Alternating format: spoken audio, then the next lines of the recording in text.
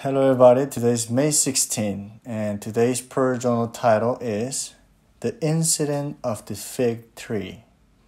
The Bible verse that we're going to read today is Mark chapter 11, verse 24. Let's read it all together. Therefore, I tell you, whatever you ask in prayer, believe that you have received it, and it will be yours. Amen. Even though you are facing uh, problems and you feel so powerless, and also your difficulties are so uh, impossible to hold or, in other words, to handle, you need to know that the only answer for all these things is the covenant. Why? Because only God can give us the true answers throughout these difficulties. And this is what God desires. If we hold on to the accurate covenant, we know that we will surely enjoy the blessings of the church and those who will relay this only gospel.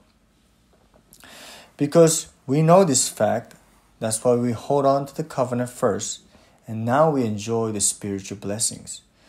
Not only are we going to finish with that, but we must ask ourselves, what is the covenant you must hold on onto and the answer that you must receive today. So today is very important for tomorrow, and today has relationship with the eternal things, and today has the relationship with the spiritual world. That's why today we need to hold on to the word, and every day we need to hold on to covenant. That's why the historic answer and an absolute answer were always there. If you hold on to the historic covenant, then historic answers will come. In every age, the Israelites had lost hold of the covenant, did not realize the importance of the covenant, and what happened to them? Slavery, captivity, and colonization took part of their life. But what happened the moment they restore the importance and also they center themselves in the covenant? God restored the people of Israel Many people focus on this restorement in a way that now it's getting better, now they live a better life. No, that's not true. The restoration of what God wants inside the covenant is life movement, gospel movement that will relate to our future generations. That's the most important thing of the restoration of this covenant. No matter what you face, you know that you need to hold on to the covenant and believe in God's power. Let us not be hasty. Let us not be neither uh, lazy in knowing what God really wants for our life. That's why the covenant will always solve the problems. But we need to know the perspective of what kind of problems we need want we want to get solved. Do we want just physical problems to be solved or some kind of diseases or mental diseases or any circumstance or, or your, the environment that you live. We all desire that, but we need to understand first that God, through the covenant of Christ, He is healing and also saving His soul through the work of the Holy Spirit. In other words, when we hold on to the covenant, the first problem that is solved is what? Is the spiritual problems.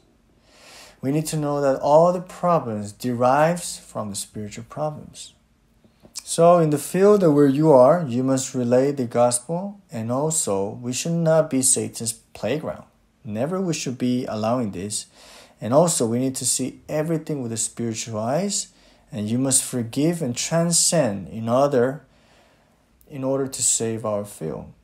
Sometimes we will be in a position that this is not fair, why this is happening to me, why people are treating like this to me, why everything is in contrary that I was planning for. Why does this happen, right? First thing of all is that you must first realize who you are and why you live and what are you living for if God really called you as children of God and that's a soul assurance and you're so sure about this, then the first thing you need to ask yourself and ask God is, What is your greatest plan? And the moment you ask this question through prayer, God's starting to give you answers. Not immediately answers, but God will give you assurance of your salvation. You know that you're saved. Now you know the children of God. And God never abandons his children. That's why holding on to your God given covenant today will become the answers of the future. So I hope that today you hold on to the covenant for the sake of your future generations, for the sake of this gospel, for the sake of this earth, to the nation. We need to hold on to the covenant. Don't hold on to other things because this will not save this spiritually dead humanities, neither these problems that are spiritual. That's why let us hold on to the covenant and let us not be dismayed or let us not be away or stray away from what is the covenant and let us focus only in this. Let's pray. Dear God, thank you and may I hold on to the covenant uh, and raising the system that will save and heal the 237 nations. And also let us raise our remnants into the summit and help our remnants to enjoy the summit and healing. Let us relay only the gospel and imprint only the covenant through our generations. And let us be models for them, role models, so they can they can know that whatever we are in a, situations or difficulties, we are always in front of God. Let us enjoy the blessings that you have given us and let us not be uh, deceived by our things or thoughts. Thank you, God, and we pray in the name of Jesus Christ. Amen.